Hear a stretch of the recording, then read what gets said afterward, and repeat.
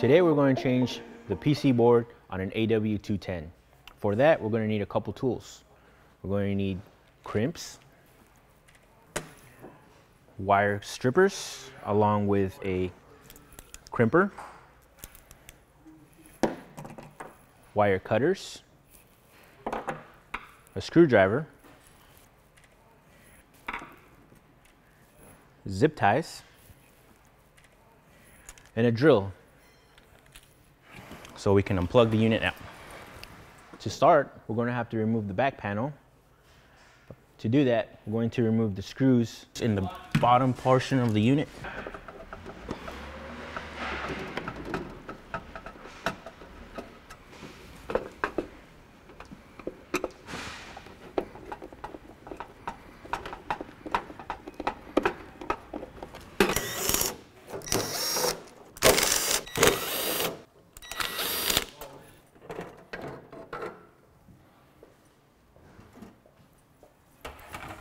Clip the zip tie,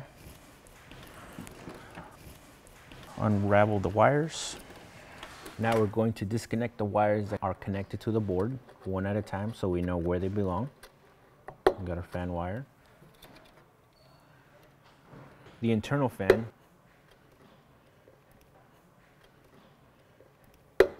And the display. Next one is going to be the power. Now that we got all the wires disconnected, now we can cut the cooling kit wires. Make sure to leave enough slack to be able to connect the new board with the old cooling kit. Now we can unscrew the old board to replace it with the new one. To remove the board, we have to remove four screws that hold it in place. Make sure you hold the board so it doesn't fall off.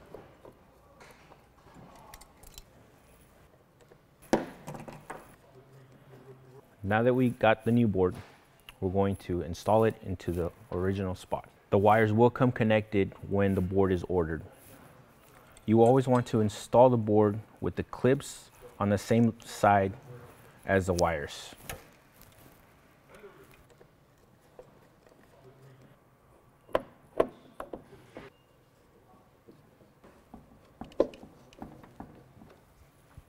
Now that the board is installed, we can connect the proper wires to their spots.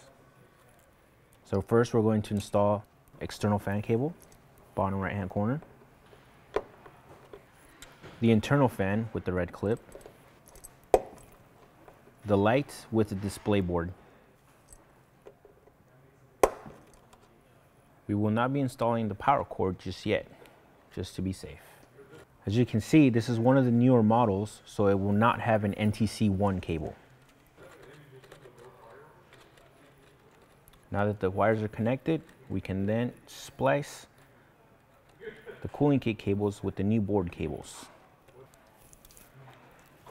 First, we're going to need the wire strippers to expose the internal wires from the casing.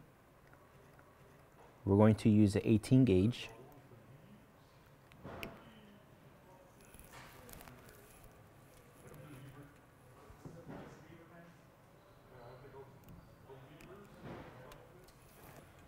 I'm going to do it on the board as well.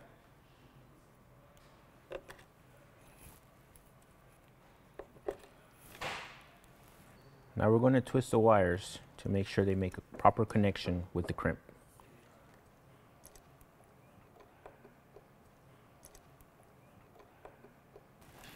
Once the wire is properly twisted, we'll install one of the crimps on one side.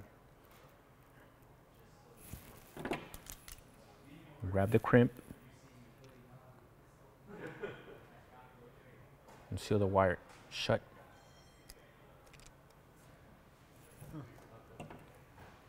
Make sure it doesn't come out.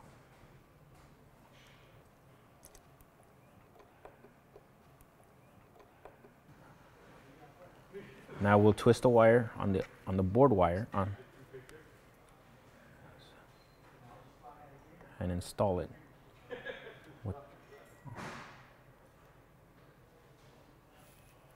Same process, we'll crimp.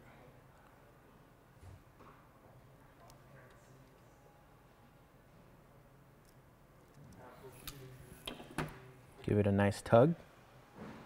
You're set. Now we will be doing the same thing to the red wire.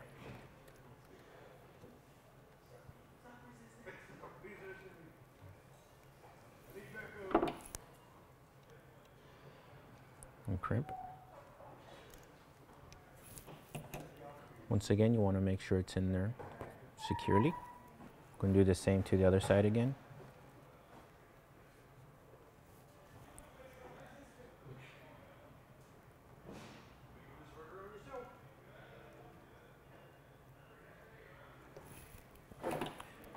Going to crimp.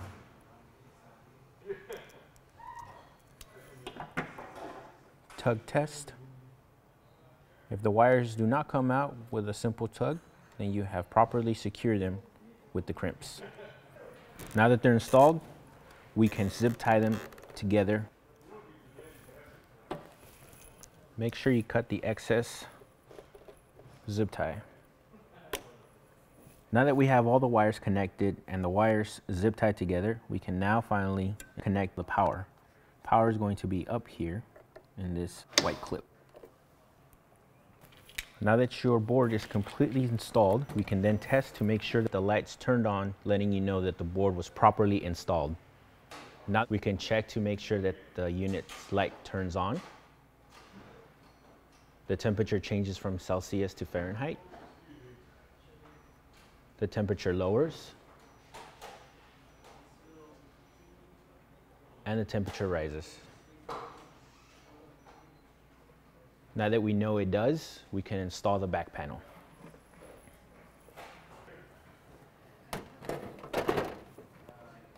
Make sure the back panel aligns with the screw holes.